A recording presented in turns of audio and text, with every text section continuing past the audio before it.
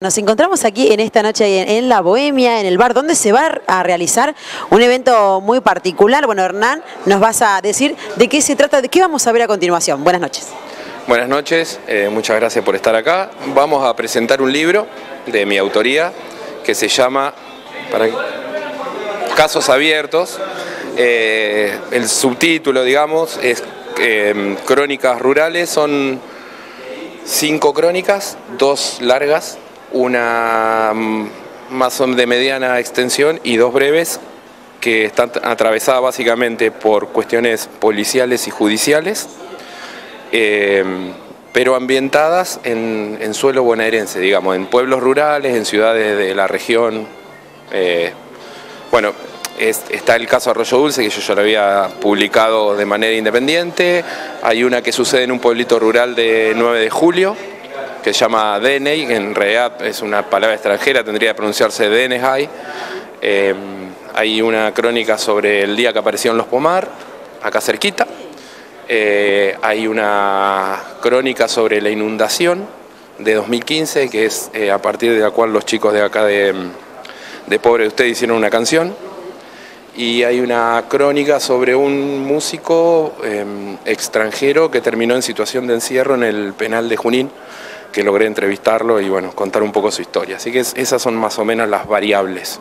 bueno, impresionante además porque son todos hechos reales, digamos, son todos hechos que han sucedido, que, eh, y esto de lo, de, lo, policial o de estas cuestiones siempre llaman mucho la atención y ¿no? Eh, el morbo un poquito también lleva a que nos guste o tengamos ganas de leer ese, libro, ¿verdad? Tiene, tiene ciertos ganchos. Eh, algunos tienen morbo.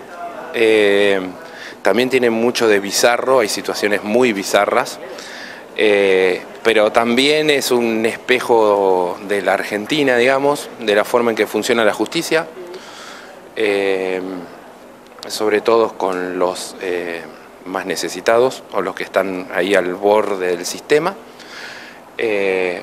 Y, hay mucho camino de tierra, bien rural bonaerense, digamos, la policía también juega un, papel muy particular.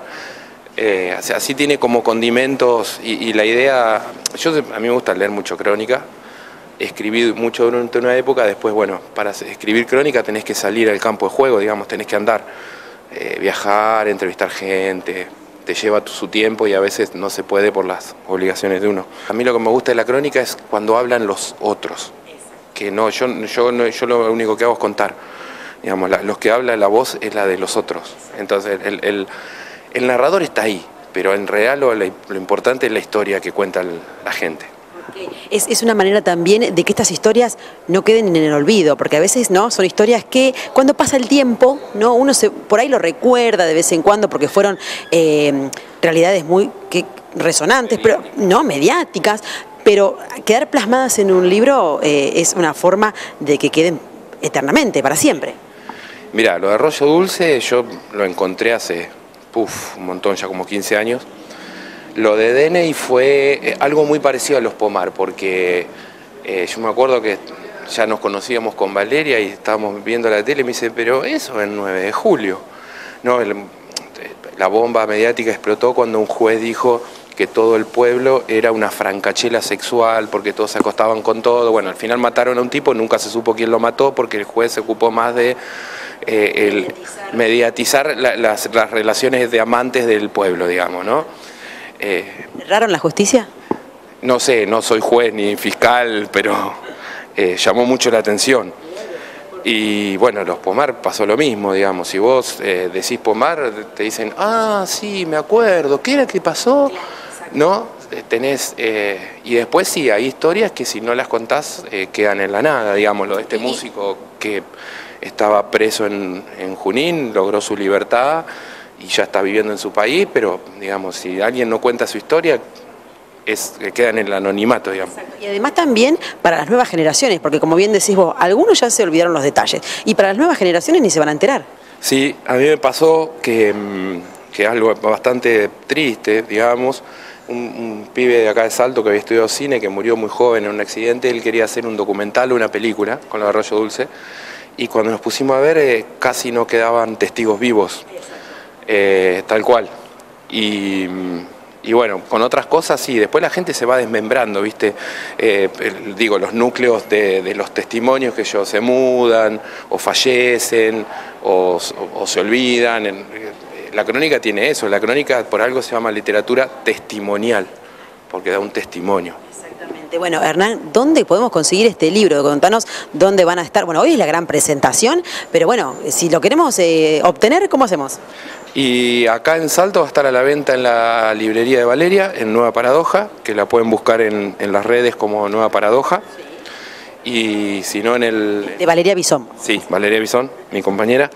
Y si no en el local que tenemos acá cerquita, que hacemos showroom eh, semanales o mensuales o se lo pueden encargar a ella y si no buscan Nido de Vacas, que se llama la editorial, que es una editorial de Rojas, que eso también es importante y quiero destacarlo, perdón que no tiene que ver con tu pregunta. Eh, a mí me parece algo eh, importante que en, la ciudad del interior donde nosotros vivimos haya editoriales. No solamente que haya escritores, sino que haya editoriales. Eh, acá está Santi con, con Serial, está Fede Ribeiro en Rojas con Nido de Vacas, están eh, Silvia y Marcelo en, Junín con eh, Rama Negra, están los chicos de Milena Pergamino, digamos, hay toda una movida editorial en la región que, la está llevando adelante y que hace un montón de cosas y a mí me, me pareció buenísimo hacer algo con gente de acá, porque eh, en realidad las historias que se cuentan son de acá entonces había que publicarlo con gente de acá. Exacto. Hernán, esto que decías es interesante porque hay muchas editoriales, también tenemos mucha gente que escribe en nuestra ciudad también, en la región. Digo, ¿hay alguna forma de juntarlos, de hacer alguna especie, no sé si lo digo bien, pero de exposición o de, no, de todo esto que es eh, el tuyo, que es el segundo libro, ¿verdad? O, más. Cinco libros. Cinco libros. Bueno, ¿dónde podemos encontrar esos cinco libros? ¿Hay un momento, un lugar donde, ¿no? donde poder juntar también a los escritores? lo mío en particular, bueno, el primero ya no se consigue, que era el caso de Rodallo Dulce, por eso lo reedité junto con cuatro crónicas más. Los otros dos son de editoriales, son libros para libros infantiles, infantos juveniles, digamos y después un libro que me publicaron en Tucumán porque eran casi todos textos publicados en la Gaceta de Tucumán. Ahora, a lo que vos vas con la pregunta, eh, está bueno eso de que la literatura es un oficio solitario, tanto la escritura como la lectura. Eh, acá en Salto está el taller de, escritura de Nico y de Sofi.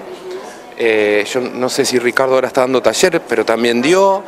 Ricardo Monge, yo tengo un taller de lectura en la, en la Casa de la Cultura creo que Gina Malagamba también da uno, digamos, hay como lugares donde se pueden nuclear eh, actividades que a priori son eh, muy solitarias.